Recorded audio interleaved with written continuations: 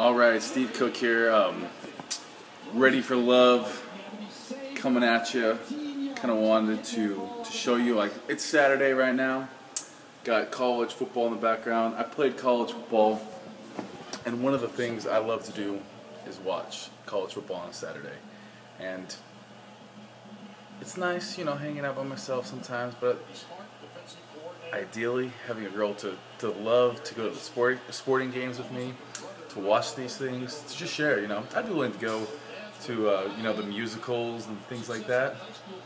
But uh, my absolute, you know, absolute ideal Saturday to me, wake up early, go get a workout, run down to the beach, come back, shower, have a nice breakfast, and then, you know, this is all with that special someone, and then put on a, a, a, football game, just be lazy, throw on some sweats, and just have someone that you could uh, be your best friend and watch that with.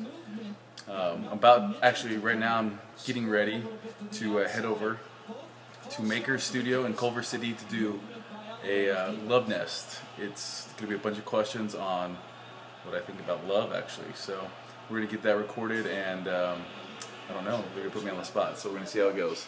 Steve Cook, signing out. We are rolling. All right, Steve Cook here. We just got done shooting a little episode of The Love Nest on Carlie Stylez' YouTube channel.